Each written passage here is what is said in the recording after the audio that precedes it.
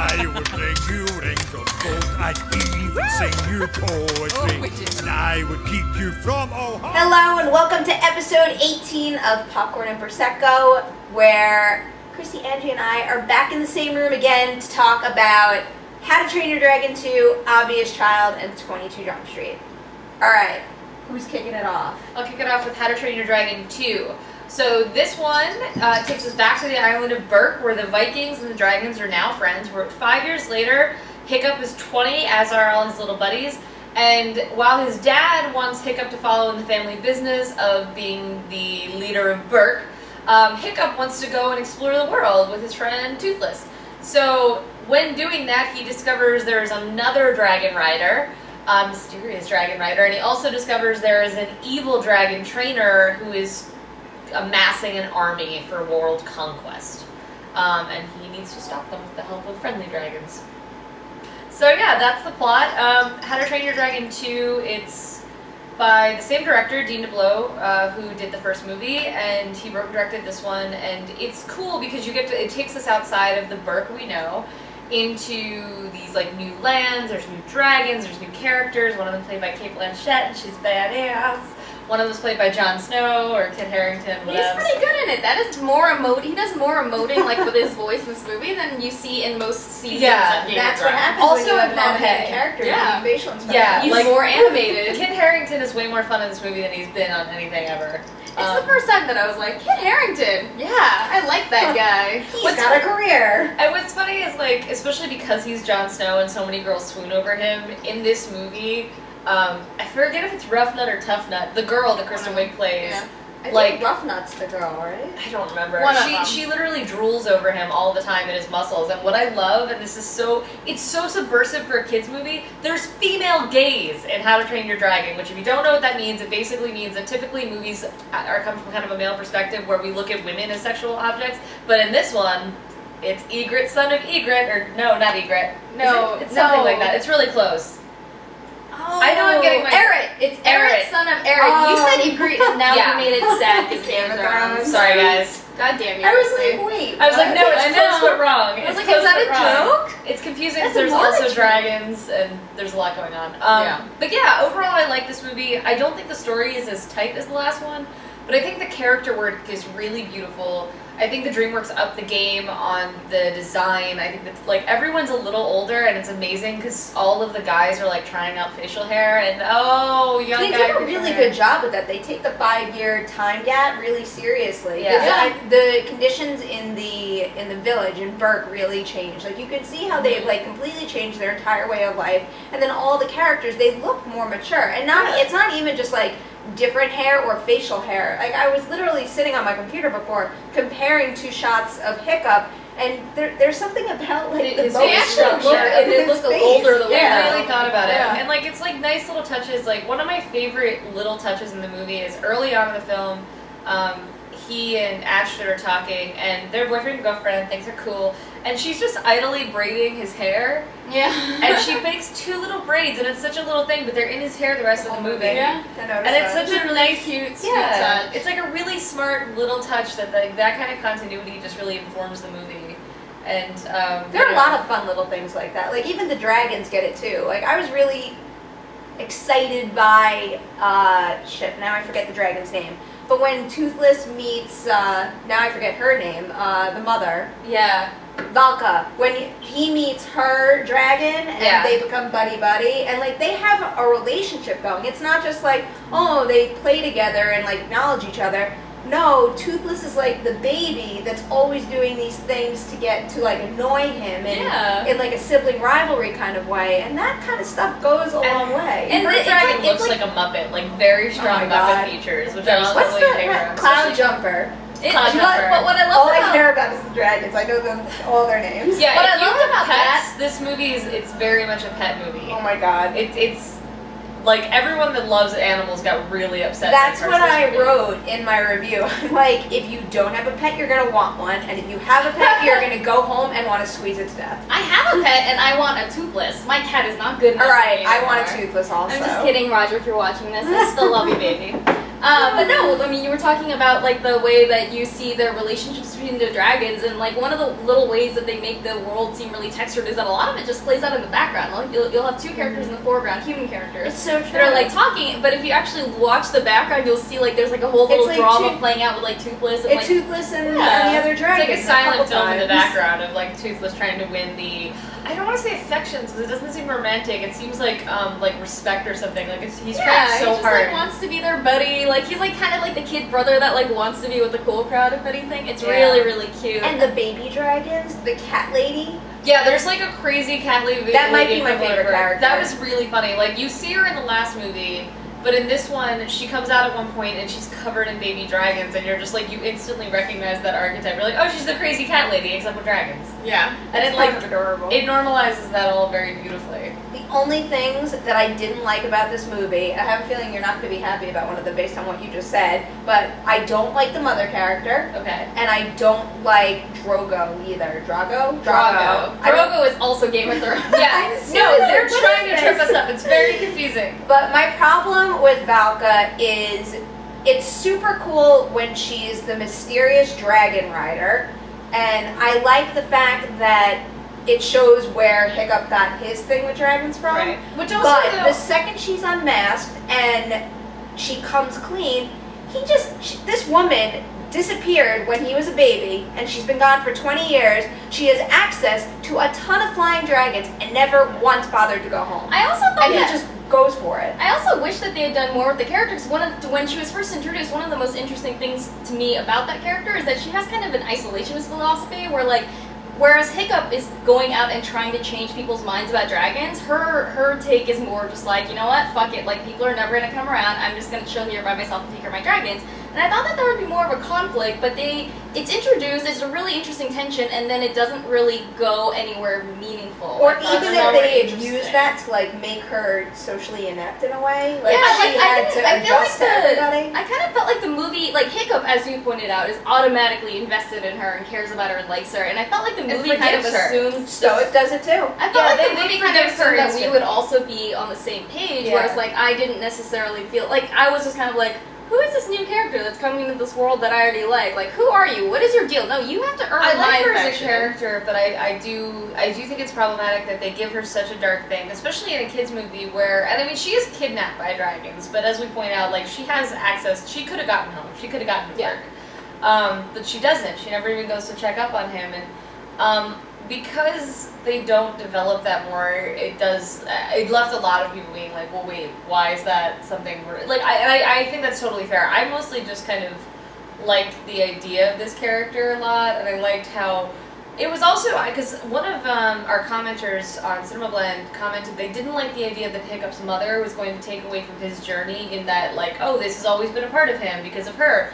But it's like when you see the movie, that's actually not true. They show you a flashback where like Hiccup is who Hiccup is, and I thought that was really beautifully done. We have a cat buying for popcorn. Um, um, but yeah, I I understand there are problems. I like I said, I think structurally there's problems, especially in the second act. I feel like a lot of stuff has to happen for the plot, and we're kind of left going, wait, what just went on? Um, That's the me, problem with Drago. Is Yeah. that like really He's the what, bad guy to be What clear. did what did he amount to in the end? Why was he doing what he was doing, and why did we need him? We didn't need him, and this isn't a spoiler because I'm pretty sure it was in the uh, it was in the trailer, and I think it's in a lot of press material out there. Is that there are these alpha dragons, and he has one, Yeah, and that's basically his only purpose in the movie. It's similar to Valka, actually. Her main purpose in the movie is to open up the world to this cave full of dragons. His purpose is to bring in this Yeah, alpha I see dragon. what you mean. I mean, they But like, they, they seem more like they're there to that? serve the plot than to be like characters that we care about all that much Yeah. on or their own. which has, a little or bit has much motivation. Like, what, what was Drago even after? He just wanted to control the world it with does dragons. feel. It, now, the more that I think about it, the more it feels like a bridge. Um, I mean, the, but like that was a little bit of a problem in the first film too, where like you're very invested in like Hiccup and like to a lesser extent Astrid, and to also you know also to a lesser extent Stoick, but like like for example, I can I still could not name all of his like friends. Mhm. Like I know what they look like, but I could Fish not legs. tell you what. They're That was what I could not tell you who's who's who's which one is which. Yeah. Or like what their personalities really are, and like you know, it, it's a little bit you could disappointing. a little more now because they bit, but I have that, like it's- that it's- thing where both of them have a crush on her, and that was a little something. There's a little more to Just a say. little It's, bit. it's But they don't. They It's a still fun don't have that to get the It's gang back together. Right. but narratively it's messy. But I think we should wrap up this section. So, would you recommend people see How to Train Your Dragon 2? Oh my god, yes. If you have a pet, your heart is just going to melt. You're gonna want a pet. You're gonna you're gonna want every freaking How to Train Your Dragon product too. Because who was I doing it with? Where we were you were sending yeah, me pictures. It was Yeah. just like it was a bunch of text We messages. all need a toothless in our lives. Go see this movie. Yeah, I would recommend it too. I mean, I didn't get a chance to talk about this at length, but like in the first one, one of my favorite things was like all the flying scenes. This one, like, oh my god, I love it. Like, um, They got so the yes, all also for the pets, but also like just like being there and like watching it in 3D is a good experience. You really feel like you're flying with them. It was a great experience. So yeah, it has its issues, but overall, Yeah. recommend. I think it's fun. I think it's sweet and lighthearted, and you know, I think if you have kids, they'll eat it up. So yes. I it's, I think all around, it's three thumbs up from us. Yay! So I'll Dewey take- approves too. Is he even in frame? I don't know. I don't But think he's sitting Dewey there is and in frame, but I think if he knew how much you wanted a toothless, he might not approve so much because then he would know. He was giving us some serious side eye earlier. See, it makes you want to hug your pets, and it makes them want to but, run but away. it does not make them want to hug Biggest you. bite in my face. So I don't like that sad. Dewey. All right, Uh, obvious child. Yes. So moving on, um, I'm going to talk about Obvious Child, which is. It, it's an abortion romantic comedy, which is not a combination of words you hear very often. It was directed by, is it Gillian Robespierre? Is that her name? I'm name? not even Robespierre? gonna try. Yeah. it's Gillian Robespierre. something like that. I'm really sorry I couldn't. I forgot to like memorize that ahead of time. Um, and it stars Jenny Slate, and it's just about her. She gets so Jenny Slate is the main character. She gets out of a breakup. She has a one night stand. She gets pregnant, and the story, and then she decides immediately to have an abortion, which in itself is like actually kind of kind of you know groundbreaking because like in every other movie we've seen where that happens like a Juno or Knocked Up or whatever it's always like you know if they even if they even like think about having an abortion it's like immediately dismissed. And this is one of the very few movies I've seen where like someone that seems like the kind of person where you can imagine that in real life a woman in this situation would seriously consider having an abortion or have one. Yeah. and it's it, it was really it, it felt really groundbreaking to like see that. And and not only that this abortion in this movie is treated the way that I think it's treated in real life by real people which is that it's neither like you know the worst most tragic thing that's happened to her nor a decision to be taken lightly. Like Yeah. she takes it very seriously but it's also just like you know another another step in her life. It's not like oh my god this is going to change the course of my entire life and it's going to weigh on me forever. And it was really refreshing. Yeah, but what's interesting about it, especially, is when she goes to set up the appointment, they tell her that she has to wait a few more weeks because of developmental reasons, and they said, um, so the earliest we can book you is, um, are you free on the 14th? She goes, February 14th, Valentine's Day. And, like, that communicates the tone of this movie to a T. It's really just one of those just kind of like, like like when la- life is laughing at your miseries and um, and they're like we could do the 15th and she's like that's my mom's birthday we'll just do the 14th and like I- Like that is what this movie is. It's just a whole lot of laughing at her problems. yeah i mean i because wanted you can totally relate because it's like sometimes you do just feel like that there's this the, the universe is laughing at you I mean, I started out saying that it's groundbreaking, and it is, and I think that's a great reason to watch the movie. But an even greater reason is is that it's the genuinely really like funny and sweet and entertaining. Like Jenny Slate's brand of comedy. Kristy is gonna go deal with the cat because she's a kind person. He was He about likes to to, he was about to break my on phone. So thank you, Kristy. Um, Now just your bag will be sacrificed. that's okay. There's nothing breakable in there. I don't think. Anyway, we'll Anyway, find out. next time let's give you Bum, a little bum, Dewey. Um, so it's just it, it's it's really funny. Jenny Slate's uh, she's in the movie. She plays a stand-up comedian, and her comedy is like very specific and very funny and like, very graphic and like very graphic. the movie starts with her talking about vaginal excretions. And it's like if that makes you go like oh god then this may not be the movie for you which is a service because I feel like there's a few people that might be turned off by this movie. Just immediately like is this is fine. who we are. yeah you know, deal with it Either you're in or you're out. it's unafraid. It's it's saying like yeah, it's it's a comedy unlike I've seen before. Um, I mean, Talking about it now makes me want to go see it again and write down more of her jokes Oh because my God, every so single one of her jokes was funny. I can't remember the last time that I've laughed out loud throughout so much of a movie because you know most of the time with this kind of stuff and. I, I guess with movies, like I'm, I mean, just thinking of like funny people off the top of my head, Uh-huh. where it's got all of the uh, the better comedic material at the beginning, and Yeah. then it gets serious. This, I mean, this does get serious. You know, she she gets she gets serious and emotional Yeah. about it. She, Yeah. It's not like it's all one big joke. She has real feelings, but the laughs are there from Yeah. start to finish. And it's really sweet. Jake Lacy plays the guy that she hooked up with, who you know she's now pregnant with his child. He's the guy from the last season of Office, and He's just what is Dewey doing? He's right hanging out behind I'm the so table. sorry, but Sorry. the perils of recording in person. Our Um, absolute silent partner. I hope Right. he doesn't get into that bag. Um, anyway, I thought that he, I thought that he, you know, he was, he was also, he came across really well. Like he was really likable. He was like funny. Which I can't- should explain. I can't she believe she didn't go, go for him at the very beginning. She goes to find the guy from the one night stand because she's kind of debating whether or not she should tell him. Right. And what's interesting is that makes it sound like it's going to be like a lifetime movie of She doesn't like, go to find him though. well, She's she's considering it. She She's considering it. away. She She's thinks about whether it. to tell him. And I then he think- shows up in her yeah. life because first Like he five tries to find her, yeah, and then it's like coincidence.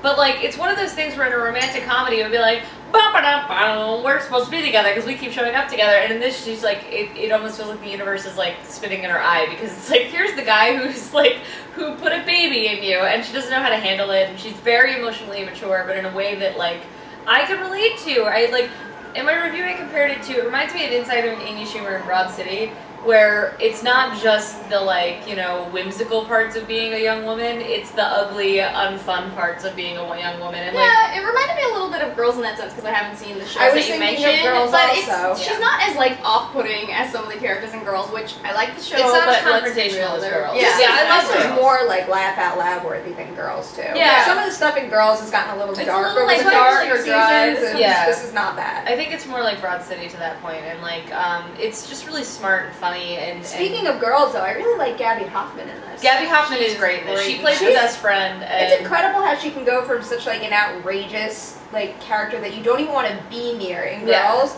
to someone who feels like a really good, warm friend. Yeah. Yeah. Like she's believable, and you were like, I, I feel like we all have a friend like Gaby Hoffmann who like uh, kind of knows us for the ugly little freak show we can be and loves us anyway. Like Gaby Hoffmann's great in this, and like. Yeah, it's and um, Richard Kind plays Jenny Slate's dad in this, and I'm forgetting who plays her mom, but she's great. There's- That's one of my favorite scenes in the movie. When Yeah, she's sitting- when she's sitting in the bed with the mom and they're Yeah. just talking. Yeah.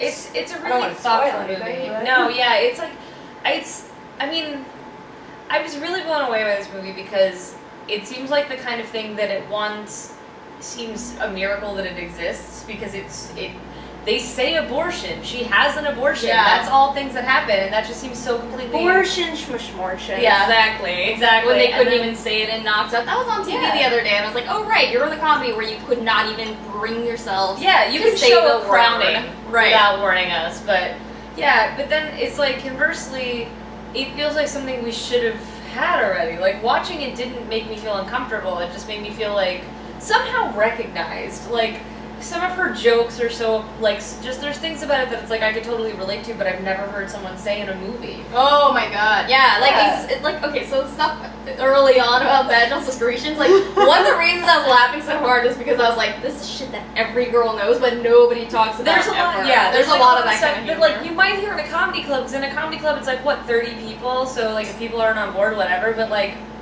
it's a very different thing. It's also nice because she's so close to our age too. Like Yeah. everything that she was dealing with is very relatable. I mean, not every little thing, but a lot of it. Yeah, Yeah. It, felt, it really did feel like watching one of your friends, you know, someone that you would actually know, go through something that would actually happen to them. Uh, albeit, you know, these people are much funnier than we are, but and better written. But you know, overall, it felt like it felt very real. No, yeah, I, I think, um, yeah, I think we're all big fans of this one. It was just like it's, it's such agree like a that. warm, sweet, and it's surprisingly sweet. movie. I feel like people are gonna hear abortion rom com and cringe, but like, it's Yeah. really sweet. This movie. I think people also sit through this entire movie and picture Marcel the shell with shoes on because that is Yeah. her voice. Yeah. Perri was traumatized because she that's what she knows Jenny Slate from. Yeah. So the whole time she Mar- was thinking about Marcella Marcella got Shell pregnant and having- had an abortion. You're like Marcel, what has happened to you? This is not the Marcel. I On that know." note, maybe we should move on to our next topic. But I'm assuming this is this is another three thumbs up. I This, think. yeah, thumbs up all around for this one. Yeah. All right, so I've got this next one. 22 Jump Street. So it's Jonah Hill and Channing Tatum back again, and this time they literally moved from 21 Jump Street to 22 Jump Street, where they have a much nicer facility. And this time around, their case takes place on a college campus where they're assigned to pretend to be college students and figure out who is selling this deadly drug called Wi-Fi, W H Y P H Y and all this crazy stuff happens. And kind of similar to how it went down in high school, the two of them end up in two separate kind of social groups. Uh, Channing Tatum. I see. I never know what to call them when I'm talking about them. Their fake names. they're or their Jenko and? Schmidt. I think Jenko and Schmidt, and then it's Doug and Brad. and Brad. Brad. Yeah, but All I. well, I'm just gonna say Channing Tatum was in the frat, and Jonah Hill was not very welcome to the frat. and He was kind of like an outcast, but he got the girl.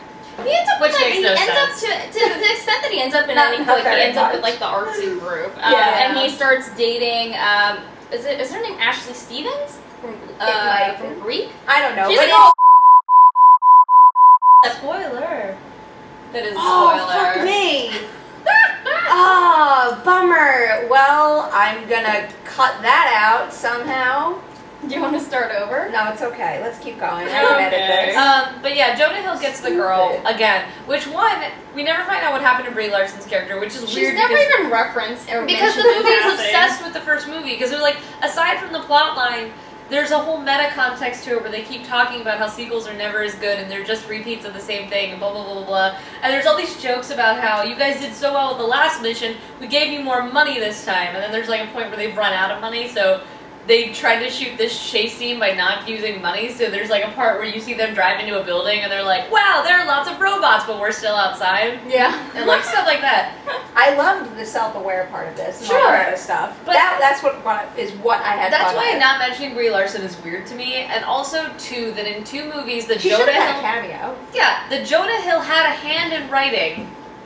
He ends up with a girl who is super good looking, and from like I have no idea why he's supposed to be attractive in this. I'm not even saying physically, like it's college, whatever, but like There is, yeah, because he ends up with a girl, but you're it's never clear why she likes him, other than that she laughs at people's jokes. But He's a bit of I a mean, jerk. we all know Yeah, the real reason is because Jonah. Hill wrote this movie. yeah. and those were the conventions of comedy, and it's And that's happened. exactly it. It doesn't. They don't have a good chemistry together. no. And like her whole character is essentially doing this every time he talks. Like her her entire thing that she does in the movie is laugh at his jokes. yeah. See, but that's the point of this movie. None of it's supposed to make sense. You're not supposed to believe in any of the relationships. It's one joke after the next, which But is I do- why I liked it so much. I want to talk about my favorite character though, which is Oh, uh, I know what you're gonna say. Jonah Hill. So we just talked about how he has a love interest. She was in Greek. I think her name is Amber Stevens or something. I'm really sorry. I did such a. I bad job. I think job you just called them both Stevens.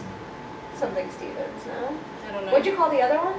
No, no, no. But oh, so, so anyway, what I was trying to say is that's his, Without that's the his, guys. that's his Literally, love without the internet. that's his love interest. I have my phone right by me. That's pretty No, it's stupid. okay. But her roommate. That's what I was trying to get at. Oh, her roommate. Her roommate. Her roommate. She's not my favorite character. I was. We just got sidetracked. Her roommate is. Her roommate is the is this like no nonsense girl who just has no fucking patience for Jonah Hill and keeps making jokes about how like old and decrepit he is, and she is hilarious. Especially She's so basically- funny. She's the poor bastard that has to be in the room while they have sex all night because which it's a if anyone who's dorm. been lived in a college dorm. Okay, the girlfriend is Amber Stevens, Right. and the roommate is Jillian Bell. yes, And Jillian Bell is hilarious. so Jillian watch Bell, she yeah. steals every she is the scene Melissa. McCarthy of this movie. Yeah, that we should see lots more of her. Yeah. She was. really she's the one that I walked up being like, I want her to be cast in like the next five comedies I watch. I want to be her for Halloween. Her and with Channing Tatum. backpack. I've got to Channing get. I've Tatum's got to give him credit. Also- he he ever since he started doing comedy, I've appreciated him a million times Yeah. more. Yeah. And I love just looking Sure. at him in I anything. think Twenty One Jump I Street was a big turning point in his career. He plays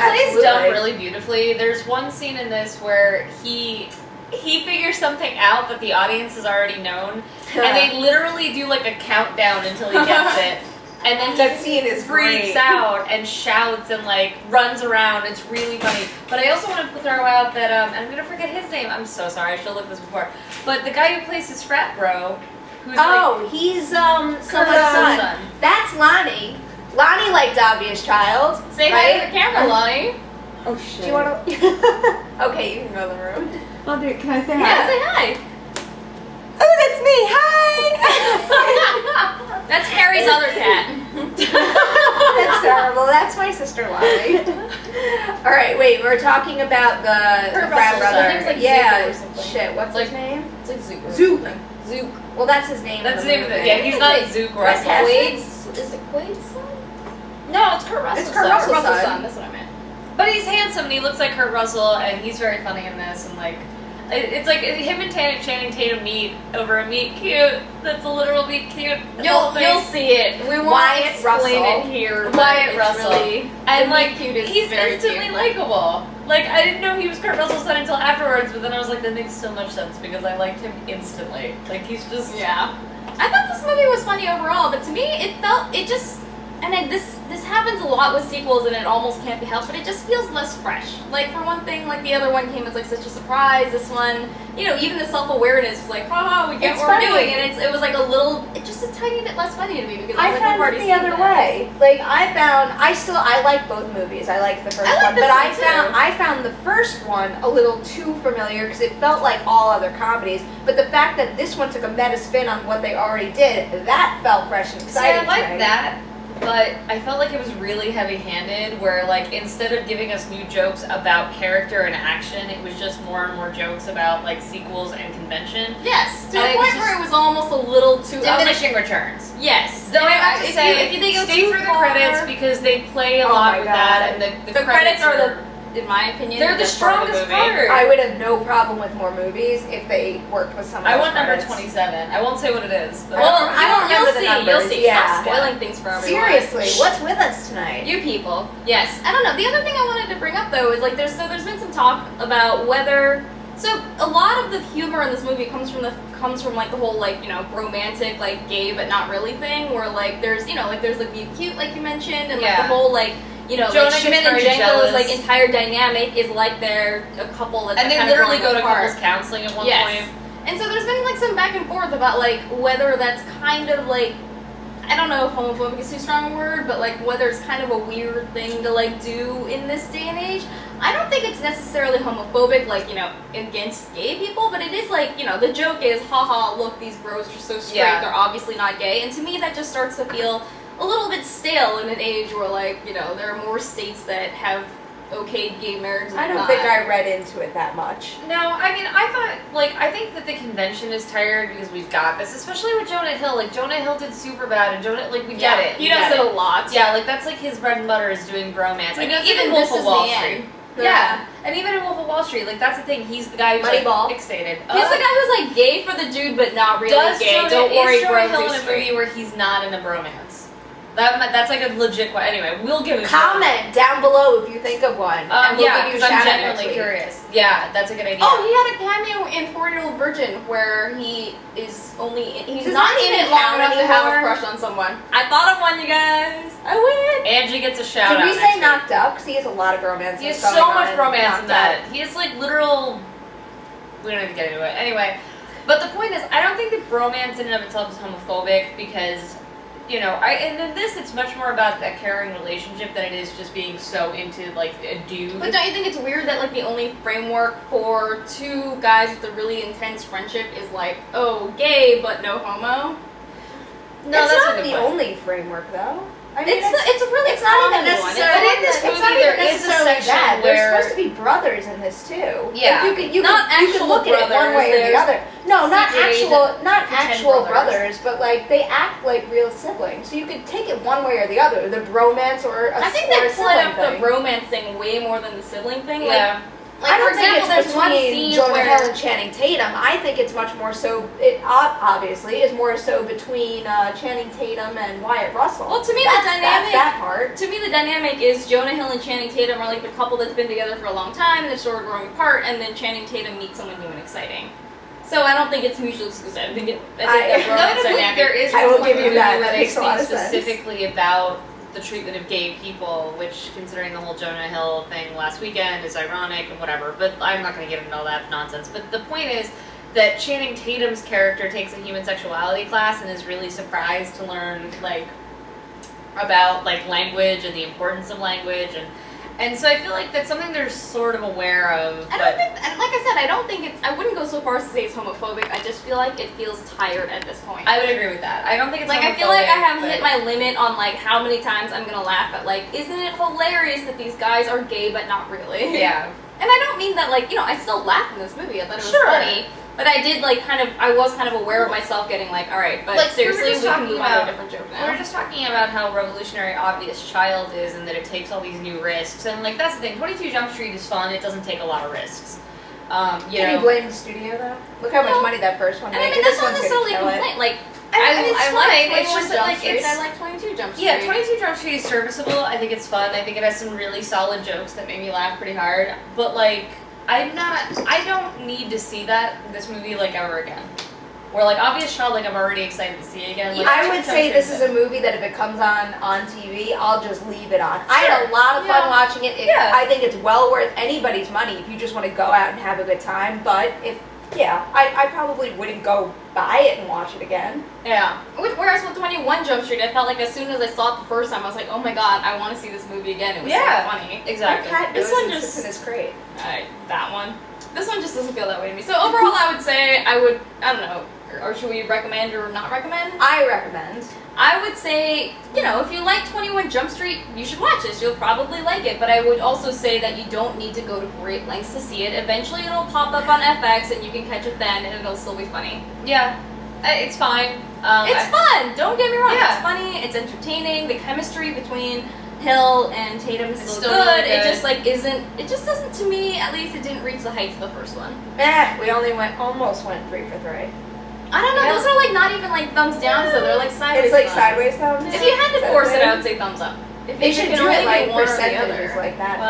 No, now I can stop it. If I had to say up or new down, I would say up. What about you? Uh, if you I have to say if I to say up or down, you yeah. have to choose one. I would, I would do All right, I'm All right. satisfied. We're three for three. Nine thumbs this week. Yeah. And that's all the time we've got. Thank you guys for watching again. And as always, follow along. You can catch us on Twitter, Popcorn Prosecco. Subscribe to our YouTube channel, Popcorn Prosecco. We're also at popcornprosecco.com. And all three of us are all over the internet. Who wants to take it first? Uh, I can be found on Cinema Blend and the Mary Sue. Um, check me out on Monday because we'll be doing the last Game of Thrones episode recap. And I'm on Twitter at Kristy Puchko, K R I S D Y P U C H K O. Uh, you can find me on Twitter at AJHAN, and you can find my writing on slashfilm.com. I link all my writing to littlemistercritical.com, and my Twitter handle is pnemiroff. Thank you guys so much for watching. We will see you next time. Cheers!